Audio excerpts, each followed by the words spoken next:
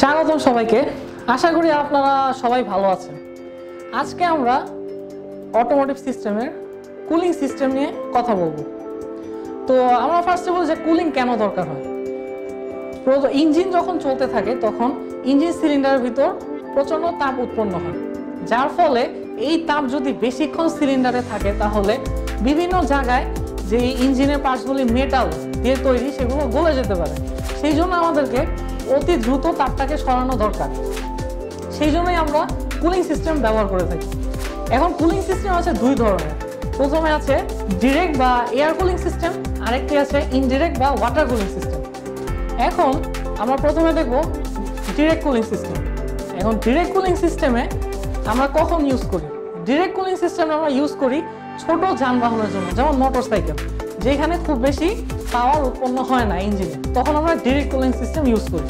এখন আমরা দেখি কি কি জিনিস আছে ডিরেক্ট কুলিং সিস্টেমে প্রথমে যেটি আছে, আমরা দেখছি যে ইঞ্জিন সিলিন্ডার ইঞ্জিন সিলিন্ডারের ওয়ালের চারপাশে খাঁজ কাটা কিছু জিনিস আছে আমরা দেখছি, যেটাকে আমরা ফিন বা ফ্ল্যাঞ্জ বলে থাকি। তাছাড়াও আমরা দেখছি ইঞ্জিনের ভালভ হেড এটা ইঞ্জিনের পার্ট তো এখন এই যে ফিন্স বা ফ্ল্যাঞ্জেস এইটার চারপাশ দিয়ে যখন বাতাসটা প্রবাহ হয়, তখন এই যে তাপটা উৎপন্ন হয় সেটিকে অতি দ্রুত সরিয়ে নিয়ে যায় বাতাস, যার ফলে ইঞ্জিনটি ঠান্ডা হয়ে যায় তাড়াতাড়ি এবং অনেকক্ষণ ইঞ্জিনটি চলতে পারে। এটি হচ্ছে আমাদের ডিরেক্ট কুলিং সিস্টেম এবার আমরা আসি ইনডিরেক্ট কুলিং সিস্টেম আমরা ফিগারটাতে যাই। ফার্স্ট আমরা বলি যে ইনডিরেক্ট কুলিং সিস্টেম কেন লাগে? যখন ইঞ্জিনের শক্তি উৎপন্ন করার ক্ষমতা বেড়ে যায় বা ইঞ্জিন বা গাড়ির সাইজটি যখন বেড়ে যায়, তখন আর ডিরেক্ট ডিরেক্ট কুলিং সিস্টেমে কাজ হয় না। বাতাসের ঠান্ডা করাটা ইফেক্টিভ হয় না। তখন আমাদেরকে ওয়াটার কুলিং সিস্টেমে আসতে হয়। এইটাকে ইনডিরেক্ট কুলিং সিস্টেম বলে।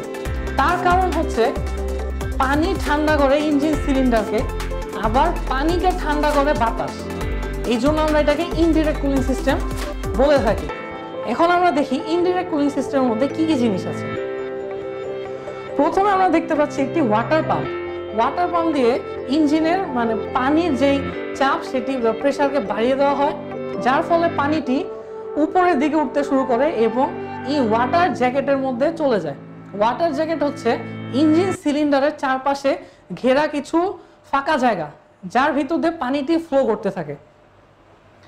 তো এই যে পানিটি ইঞ্জিন থেকে উৎপন্ন যে তাপ সেটি নিয়ে যায় এবং পানিটি গরম হয়ে যায়। গরম হওয়ার ফলে এটি হালকা হয়ে যায়। হালকা হলে এই হালকা পানিটি আরও উপরের দিকে ওঠে।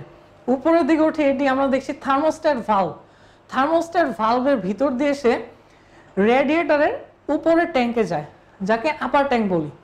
আপার ট্যাঙ্ক থেকে এই গরম পানি যখন রেডিয়েটার টিউব দিয়ে নিচের দিকে নামতে থাকে, তখন বাতাসের প্রবাহ হয়। বাতাসের প্রবাহটা কে করছে? সেটা করছে এই ফ্যানটি, কুলিং ফ্যান। কুলিং ফ্যান দিয়ে বাতাসের ফ্লো হয় বা প্রবাহ হয়, এই প্রবাহটি গরম পানি থেকে তাপ সরিয়ে নিয়ে যায়। তো যার ফলে পানিটি ঠান্ডা হয়ে যায় এবং নিচের লোয়ার ট্যাঙ্কে গিয়ে জমা হয় এবং এই ঠান্ডা পানিটি আবার পাম্পে চলে আসে এবং এইভাবে এই সাইকেলটি চলতে থাকে।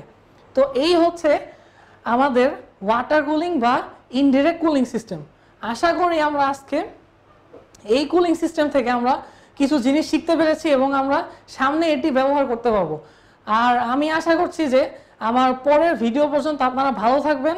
সবাইকে ধন্যবাদ জানাচ্ছি।